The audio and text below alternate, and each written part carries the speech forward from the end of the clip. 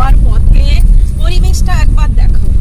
একদম গ্রাম্য পরিবেশ। আমি আর মানে এক মিনিট বাদেই মন্দিরে ঢুকে যাব। তার আগের মুহূর্তটা দেখো। এখানে মেলার সময় মোটরসাইকেল টাইকেল অনেক কিছু রাখা হয়। তো এখানে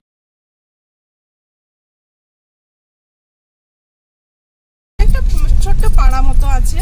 তো, দেখো মানে জায়গাটা এখনও অত আধুনিকতার ছোঁয়া নেই।